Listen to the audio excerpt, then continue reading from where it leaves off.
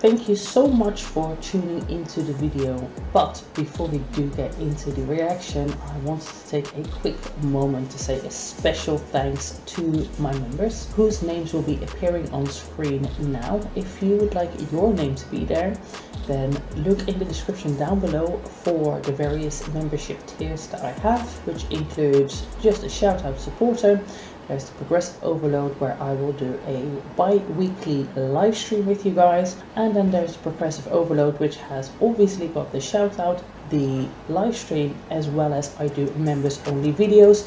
These are all kinds of videos. Sometimes it's recipes. Usually it's just little life updates. They're a little bit more personal. So if you're interested in joining, then feel free to join below.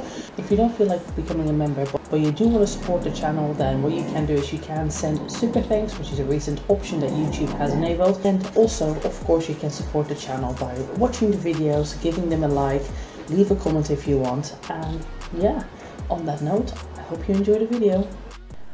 Hey guys, what's up and welcome back to the channel. My name is Ilona. I'm also known as Chikara Transformations. I'm an online health and fitness coach and I'm also a bodybuilder.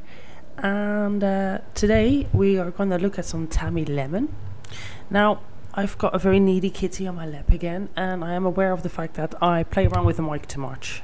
Um, so I will try and keep it at the same distance all the time so that it's not annoying for you and hard, harder for me in edit basically trying to keep the levels the same. So, shall we say hi to Violet Grey?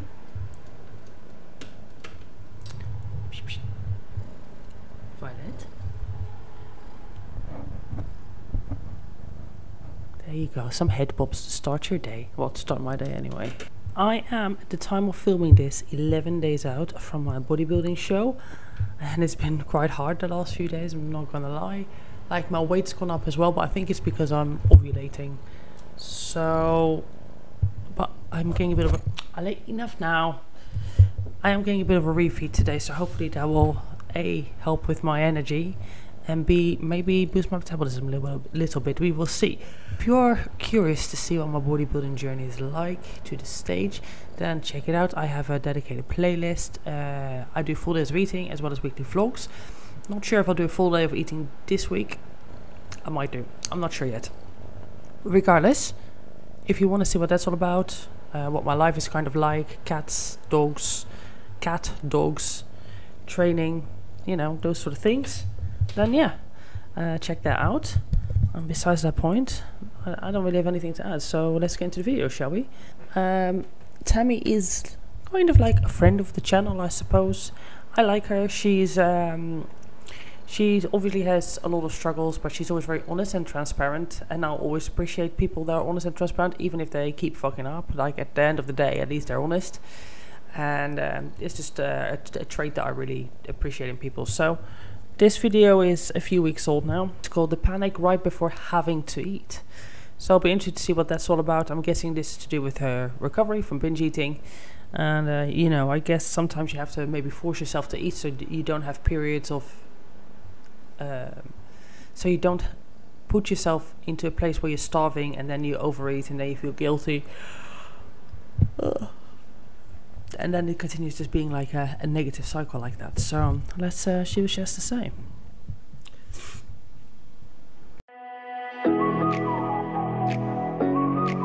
Hello, little lemons. So I did a poll recently where I asked you guys if you wanted to see some of my older footage. I have had a period where I wasn't doing very well and I didn't upload, but I did film a few clips here. I'll be honest though, guys. I am definitely a dog person. Like, don't get me wrong. Like, I love my cat, but I do find her a bit annoying at times. Like now, for example, she's very.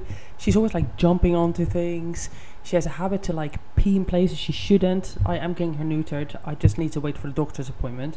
And I know there's lots of vets in Sofia, but if you live in Bulgaria, you know you can't just go to somewhere and do things. You need to go on referrals from people because if not, you basically get messed around. Uh, people will not do a good job or people will just um, add in additional fees to bills. So if you live like this is not it's not a good or a bad thing. It's just stating a fact that in Bulgaria you can't just get work done by people. You need to go on referrals from people, basically, uh, recommendations. So I I did speak to a vet a few weeks ago, and uh, I'm just waiting for a call from them basically, so I can get her neutered and hopefully that will calm her down a little bit. But some people were saying it's also because she's a street cat. They have like slightly wilder temperaments. I mean, she's adorable. She's sweet. She's adorable and sweet, but I'm I'm I'm definitely more of a dog person. You know, like I don't know. But then she's being a little cutie pie now, so it's like she's just like a little bit annoying. She's a little bit more annoying than the dog sometimes. That's all.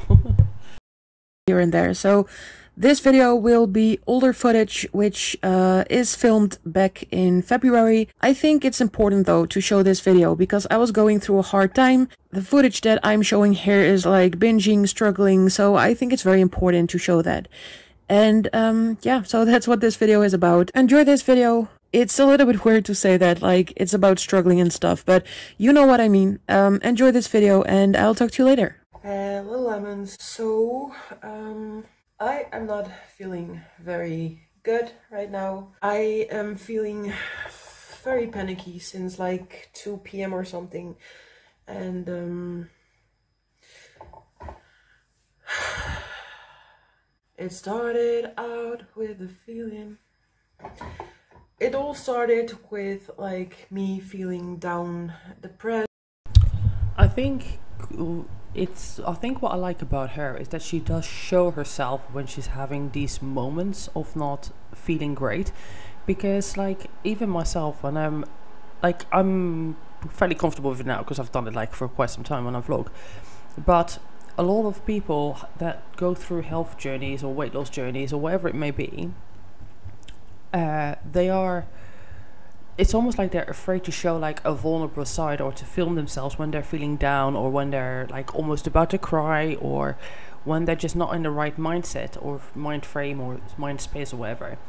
And it's nice to see that she is somebody who does kind of pick up the camera and just talk through how she's feeling at that time in that moment and not just retrospectively and that like i don't know i think it takes like balls to some degree you know because it's not easy to do. But at the same time it is it is good to see because you understand um, i think it makes people more human and it's also it's relatable because everybody goes through it. Like maybe not necessarily exactly what she's going through but the fact that she's picking it up and going like look i'm feeling anxious and i'm just like i can't shift this feeling i'm watching it and i can relate to it because i've had days of high anxiety for no particular reason and it's difficult to try and shift that mind frame first i feel you know, like I'm not having my day right now. I tried to um, distract myself. I played some Planet Zoo. I tried to do some Netflix. Then I just wanted to just sleep to make the feeling go away. Nothing really worked. Now that has turned into binge thoughts and I am thinking about going to the store and I am very desperate and I want to be honest about it and with desperate, I mean really, really desperate. I'm just feeling like shit. I do not like filming right now. You can hear it probably, my voice, like I'm probably sounding like very nagging I'm not in a good space right now. I just want to I just wanted to stop. This has been going on since 2 p.m. and I'm so tired of just everything I think. It's just it the thing is as well when you're in that space where you have anxiety for me anyway like i find it really difficult to shift and it literally only goes away with time. And sometimes that's an hour and sometimes that's just like a whole day. And you just walk around all day just feeling on edge like you're gonna cry for no reason uh, dread. You can't relax like everything's everything is just like you can't concentrate properly and there's nothing really you can do except for like within reason keep yourself busy and try and take your mind off it. But that's not necessarily a guarantee either that that's going to work. It's just a case of you're distracting yourself with other thought as much as possible. But that's that anxiety feeling is still there. I mean i suppose you could take medication but that's not just readily available for most people. It's just negative. Like now i'm i'm saying in my head like yeah you're such a crybaby. Just stop it already. Just Stuff your face and stop it. Quit it. don't feel sorry for yourself. Like, feel sorry. I don't think there's necessarily anything wrong either with sometimes talking to yourself like that. Like sometimes you do need to talk to yourself um, and basically go like, stop being a little crybaby. Because at the end of the day, also sitting around and like feeling sorry for yourself, like it doesn't fix anything. You might as well just get on and do things. Like, don't get me wrong. Sometimes it's good to just have days like that and just sit around and feel sorry for yourself and have a cry. But that you can't let that escalate because then it just becomes a habit of feeling sorry for yourself, and then you end up in a depression. And like I'm not like I know that some people have like um, chemical imbalances, etc. But some depression, or a lot of people have depression because of things that they're unhappy with within their lives, and a lot of that can be controlled. I'm not saying for everybody, but you know, some people do. Like some people are depressed about their situation, their circumstances, their relationship, their job, whatever it may be, themselves, and like all of that you can control within reason. It's maybe not so easy, but for the most part, if you want to change things, you can. So I don't think there's something wrong either with just talking to yourself sometimes and just go like, "You're being a little pussy now. Sort it out," basically. Because I mean, I do that to myself, but um, maybe that's I don't know. Maybe that's not healthy either. Sorry for yourself, but own it. Like, go to the store, stuff your face, gain all the pounds, and feel sorry for yourself again. And um, I'm just, I'm going like feel sorry for yourself and not go and eat obviously i don't i don't mean that but i think just to tell yourself to stop feeling sorry for yourself is one thing to go and eat loads of food no don't don't do that stop it's it's very toxic i think to talk about this self-hate talk but it is there and i can't seem to distract myself or push it away and that makes me want to eat. I have endured it for some hours and now I'm just at a point that I don't know what to do anymore and all I can think about right now is food. Not healthy food because I was hungry first so I ate some healthy stuff uh, so I'm not hungry anymore. It's a mental hunger right now. I can I can feel the difference really good. I like I said I do not like recording this but it's good that she recognized the difference between a mental and a physical hunger and I think that's something that I notice a lot with people that I coach, especially those that do struggle with obesity. A lot of them can't necessarily differentiate initially between hunger and cravings and mental hunger. And I think once you eat like a lot more whole foods, you do start recognizing those differences. And it's only when you start recognizing, like, oh, I have a physical hunger versus a mental hunger, or, or a mental hunger versus a physical hunger, or I have a craving versus a hunger, that's why you can start creating habits around that to change that. Um, so a lot of what I do with my coaching, is, with a lot of what I do with my coaching, it's not weight loss coaching. I mean, it happens, of course, it does happen, but it's more about creating healthier habits. And usually speaking, when you have healthy habits and you have a, an active lifestyle and you eat whole foods, with that comes weight loss. That's just like a natural side effect for the most part. But for for the most part, it is just creating understanding how food makes you feel, eating whole foods, how good it makes you feel, how energized it makes you feel, um, the satiation you get from it, and then recognizing like, oh, okay, well now I feel like I have cravings, and then you can go like, what it's a craving? A craving is not a hunger; it's different. And like whether you give into it or not is a different thing altogether. But you can create like coping mechanisms around uh, mental hunger and cravings as opposed to real hunger. I mean, if you're really hungry, you're hungry, you should eat. But you know if you're really hungry because if you're really hungry, you'll eat like extra chicken. Or you know you'll eat just extra real food. If you're really hungry you don't eat a chocolate bar. You eat food food. Because you're hungry you want food. You want nourishment. This is something that like at this point i'm feeling so low so low right now. And i do feel that very often right before a binge and it's something that i want to record because i like a lot of people probably feel this way and i want to show you like it's i don't know it's not normal in the sense of like you know what i mean but it, it happens and i want to show you that. I'm just going to use up an entire bottle of deodorant. I'm not particularly particularly i'm not particularly smelly or filthy like I've taken a shower yesterday, not my hair, but the rest of my body, but I just feel as if I'm the most gross blah human in the world right now. So I don't know, it's not that much about facts. It's about how I'm feeling right now. And I'm feeling disgusting and gross and fat and stupid and dumb and a lot of other things. It's kind of sad, isn't it?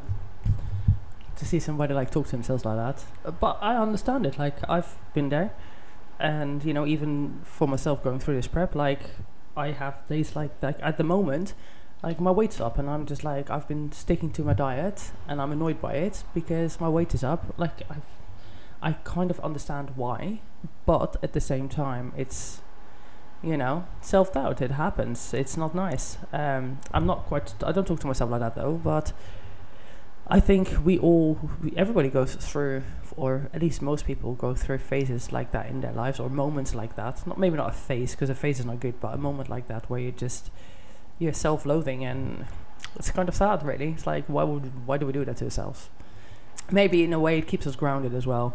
Maybe in in a way, some element of occasional negative self talk in small amounts in moderation is what keeps us grounded and stops us from being very arrogant human beings. Maybe. I don't know. Because if you think you're amazing and you're perfect all the time, you're a bit of an asshole as well, aren't you? so it doesn't really matter what you do. but you, you know what I'm trying to say there, right? It's like people that think they're like impeccable and perfect, they are a little bit annoying too.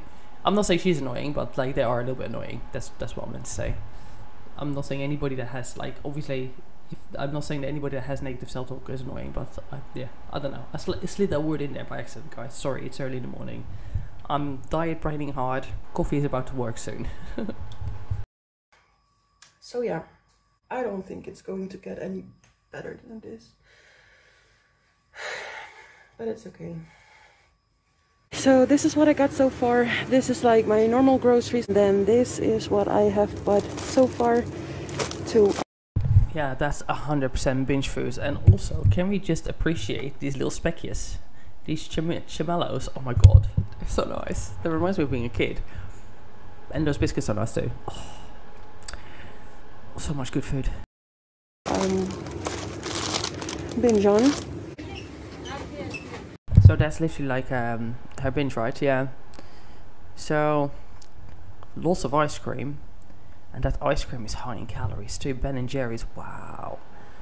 I I will I would I just refuse to buy Ben and Jerry's for that sole reason. Like I bought it once, not realizing how many calories are in it, and when I realized how many calories, I was like, "Fuck that! I'm not having that again."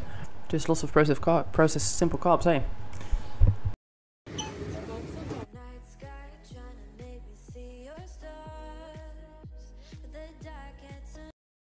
Some Easter things, donuts, cookies, crisps. No crisps. Oh, then I I said crisps for. Cookies, ice cream.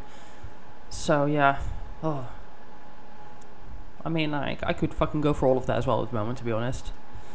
This diet is like kicking my ass, but I might do it for like another couple of months. We'll see. See what happens on the show and what my coach says. Holy.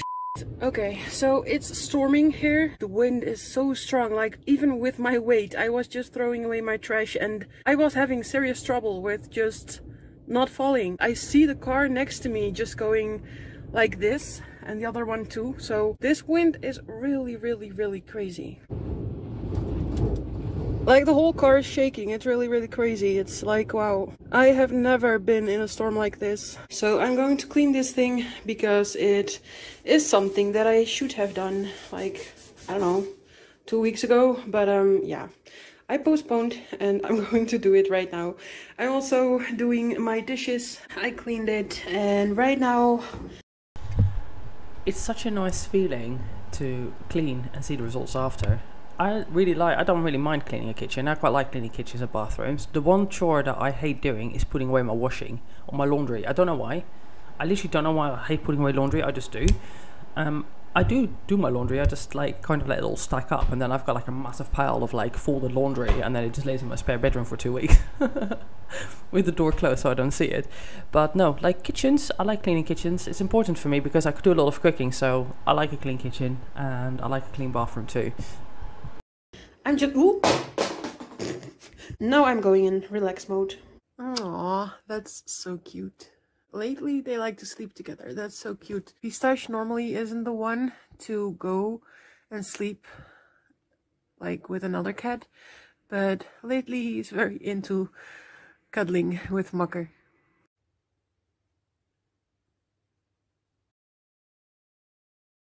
We've got those foods again.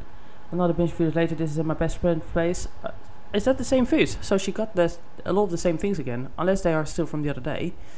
I mean, if they're from the other day, in a way, maybe that's good. Because then she didn't eat everything. I mean, she's gonna eat it now, but you know what I'm trying to say. Go away. Hey Lemon, so I'm in my car. I'm at Stefan's place right now. I did shower here, but I didn't brush my hair because I forgot about my hairbrush. But um, yeah, doesn't look too bad. I just left to Stefan. I was a little bit in like a panicky mode and I forgot about my hairbrush. I forgot about my medicine. I forgot about all, all things that I normally do not forget. Luckily, I do have some extra medicine and stuff in my car, like a toothbrush, some medicine and stuff. But uh, yeah, not a hairbrush, but like I said, it's okay. We're going to do some, like not groceries, not food items, but we're going to do some shopping. I do feel a little bit better now, so that's that's nice. I did have a binge yesterday. I think that's also one of the reasons that I do like spending time with Stefan. Like we had a relationship for five years. He's the only one that have has seen me binge like throughout my life. And he doesn't support it or anything. He's not like a feeder or whatever, so don't worry about that. But like I can be myself with him. And I did have my binge and I don't know, I don't think it's a good thing because like we make it into I don't know, I'm just having my binge and he's also like eating a little bit on the side. It does make it, I don't know, like a partner in crime or something. I I, I think it's very good that we broke up because like that happened way too much, like me Oh, I guess he's not necessarily enabling it, but he doesn't talk against it either. And I'm guessing he doesn't talk against it either because either because she wants to binge, like the binge monster comes out, or it's the case of that he's just a very um, like what's the word I'm looking not complacent, but like a very uh, like a non-confrontational person. So like maybe like almost a little bit enabling. But it's difficult, I guess, when you're in a situation with or you're in a relationship with somebody. It's like, what do you do? Like, do you engage the argument or do you just let them be? At the end of the day, people are adults. But then, if you want somebody to do better for themselves, then you should say something about it. So yeah, hmm, it's a difficult situation. Like personally, I would say something about it, but then I am that kind of person. Well, actually, it depends. Depends really. Um, it depends on the situation if somebody's complaining to me about their if somebody's coming complaining to me about their situation and then they keep doing habits that are negative then i would say something about it. But otherwise i probably wouldn't if that makes sense. I don't know. It's difficult like, i don't know. I've never been in a situation so i can't really say. Um, and i don't really know if it's even enabling or not. If he doesn't talk against it Mm, maybe it is a little bit of enabling. Should should he say something? I don't know. To like, to what extent do you get involved with your partner, and you know, like if it's just going to cause arguments? I don't know. I guess it is a little bit enabling, maybe. I'm not sure. Dinner. I have some mushrooms. I have some. what is is courgette ook weer in het Engels? I always Courgette is courgette in English. Is zucchini in American. forget the word, but uh, not an eggplant, but the other one, like the green one. You know what I mean. I've got some um, garlic. I've got some chicken. I've got some of this stuff, like we call this tauge. Bean sprouts in English. I've got this thing with like herbs, this herb packet, and we have got some noodles, like some bami, as we call it. It's just really easy. It's just pre-made stuff. It's just heating it up in the fridge and or heating it up in the pan and then it's ready. Nasi goreng and bami goreng is like Indonesian food. You get a lot, obviously a lot of Indonesian food in Holland from like colonies and stuff like that, but it's very nice, very very tasty. I haven't had it in years. My dad makes the best nasi. Here's what the meal looks like. Um, it looks delicious and I'm looking forward to eating and bon appetit. It's a it's a large meal that that's probably enough for like two or three people I would say. So I wonder if she's gonna eat that all in one go, but I would guess probably not because that's a lot of food. And I do hope satay sauce went on there. You can't have bami without satay sauce. That's just blasphemy. In the first time in forever, we're allowed to shop without a mask. They've put the masks back here for like a couple of weeks. I don't know what that's all about, but I don't know. Guess the end of summer, right? I'm sure like COVID will become a problem. Apparently, like it is on the rise again. Like I don't really know. Like I don't watch the news. I just went into the shop on there and they're like, you need to wear a mask. I'm like, why? I haven't had to wear a mask like for this whole entire year, longer than that. And they're like, yeah, you have to wear masks again. I'm like, since when? They're like, today. I'm like, oh, okay, fine then. So I got some masks, obviously. So I just took a bell pepper and the pepper, I opened it, I took out the seeds, and they're just drying in the sun right now. Yeah, this is typical Stewie. He's a little bit, um, he's a little bit dumb. Stewie, you're with your ass in my bell peppers. They're not going to grow from that. Choo, choo, choo, choo, choo, choo. Choo, choo. Oh, of course. So literally my cat in a nutshell, forever sitting on things and grabbing things and jumping on things and crawling in things. Yeah, I guess that's just normal cat behavior, isn't it? Seeds are everywhere. I don't know if it's a pepper or a bell pepper. Well, we'll see. It will be a surprise. This is what my, uh, presumably, my peppers look like, but we'll see. I'm just going to cover the rest with some soil too, and that's it. Hey Fam, so it's me again. Yeah. Look at how those peppers have grown. Good for her.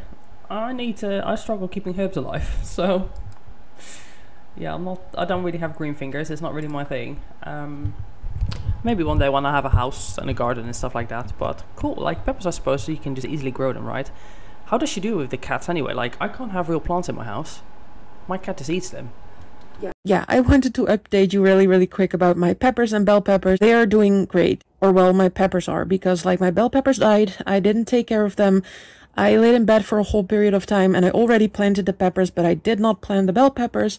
And, yeah, they died. Thank you for watching this video. I'll be back next week with another video, and, um, yeah, see you later. Bye, lemons. Well, that was just a a quick, quick little react. I really know what to add to that, to be honest. I just like that she's. I don't know. I just hope she's doing a bit better. I know that the last reaction we did is that she came back after a few months and it was her highest weight. So hopefully she's managed to control her binge eating a little bit more and uh, lost some weight because I know she was quite unhappy about that. And otherwise, like I hope she continues on her recovery and keeps doing well, or at least yeah keeps making progress. We're going anyway, and uh, yeah, that's it really. So, a little pepper emoji if you've made it this far. Comment, like, subscribe, dislike the video if you disliked it. Let me know down below why, and I'll leave Tammy's channel below if you wanna go and check it out. Then do so. I like Tammy. She's she's she seems like a good person. So anyway, on that note, I'm gonna go, and I'll see you in the next video. Bye.